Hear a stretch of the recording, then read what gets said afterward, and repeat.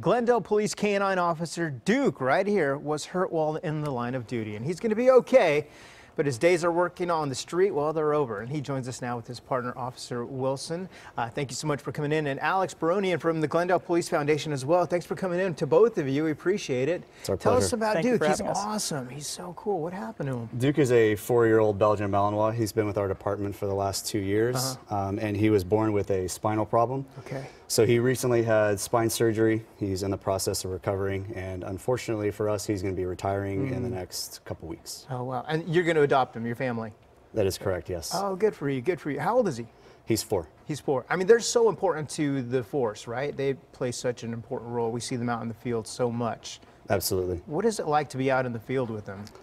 It's definitely a lot of work. We have to be extremely patient when working with them, but they provide a great asset to our department. Yeah. Um, keeping our officers safe while we're doing our searches and high-risk searches. Right. Um, and they are an extremely important asset to us. Yeah, he's so sweet. Look at him. Um, tell us what people might want to know about Glendale Police Department's K9 program. Um, it's mostly funded by private donations as well, right? That's correct. We're mainly we're, we're mainly um, service from the dona- donations that we get. Mm-hmm. Um, our dogs are extremely expensive. Our training is expensive. The average price for a trained dog is about thirteen thousand dollars, and then all of our dogs are cross trained. So that's roughly about another ten thousand dollars worth of training. Okay. Uh, on top of any other courses that we take, um, and surgery and medical costs. That's a lot. Yeah, it's quite a Yes. bit. And you've got a big event coming up to talk about to help uh, raise money. I guess you have two positions open. Is that right? We do. We have Okay. uh, two uh, canine positions Right. we're trying to fill, Okay. and we're doing our first ever K9s Night Out uh, this Thursday starting at 5. There'll be a meet and greet with the canines and their partners. Nice. Duke will be there.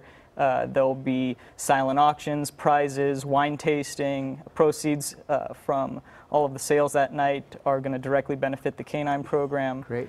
And we're hoping to collect donations that night and through our website, gpf911.org/donate. Great. So if you can't make it to the event, just hop online and raise some money that way too. Exactly, and it's a 501c3, so Great. it's a nonprofit. All of our donations are tax deductible, Yeah. and uh, they're all going to the dogs. And how long is their career, the canine? I mean, I'm sure it all depends on you know injuries if they happen, but what's a typical career for a canine? Well, just like what you were talking about, sir, it's going to depend on the breed and it's going to depend on the age that we get them. But on average, Yeah. uh, we're hopefully looking to get roughly nine years out of service.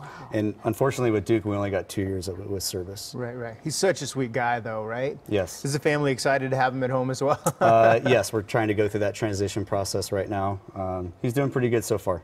I mean, and as an officer, you also have to go through specific training as well with the canine, I imagine. Yes, sir. It's So I'm getting ready to go back to school um, in about two and a half weeks. We'll get a new dog. Okay. We're going to get a new dog next week um, down, hopefully in Riverside. Okay. And then we'll go through a six-week course of training. That's awesome. Do you guys get to name the dogs? Uh, usually not. Oh, okay. They already come with their names. Yes. Tell us what else do we need to know about the foundation, about the canines, uh, as people get ready to you know click on the little donation button for you. I think we have all sorts of levels of donations, so whatever people can give, um, Mm-hmm. Right. we don't have set levels. So Great. Anything they can provide helps us out, helps us provide for the dogs, the handlers, and uh, continue to provide the service that they do for our community. And we appreciate all the service you guys do and the canines. And thank you so much for coming in and sharing your story. And we'd love to help them out. For more information about the Glendale Canine Officer Fundraiser, head to our website, kcal9.com. Click Seen on TV. Love this guy, Duke. We'll be right back.